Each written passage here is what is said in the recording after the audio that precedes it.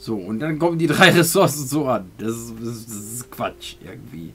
Also irgendwie ist es Quatsch. So, ich schalte mal die, kurz die Spieldings an, damit ich da auch nochmal Stoff hinpacken kann. So, also wir brauchen Wolle, wir brauchen, äh, ja, sagt er uns jetzt gerade nicht, Moment mal. Wir brauchen Wolle, wir brauchen Leder, wir brauchen die fertigen Dings. So, äh, Wolle, Leder, das. Das bedeutet, wir nehmen jetzt die Greifer, die genau das rausgreifen sollen. Und zwar da, da und dahin. So, der erste macht dann äh, Wolle. Ja, von mir ist auch synchronisiert mit dem. Jetzt gehe mir weg. Der zweite würde dann zum Beispiel Leder rausholen und der, ja, von mir ist auch synchron mit dem.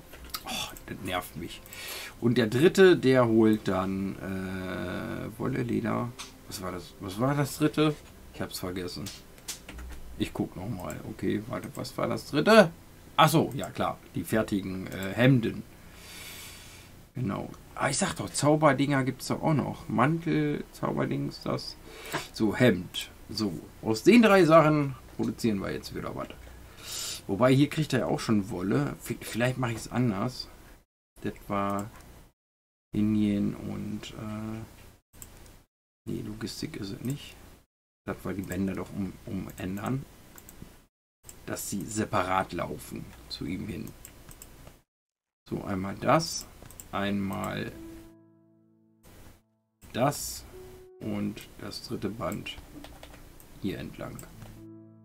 So, jetzt haben wir nur das Problem, wenn wir das jetzt erweitern wollen würden, sprich, dass es nicht nur einer macht, diese Sachen zu produzieren, sondern mehrere, dann haben wir ein Riesenproblem. So, ich mache mal Play wieder.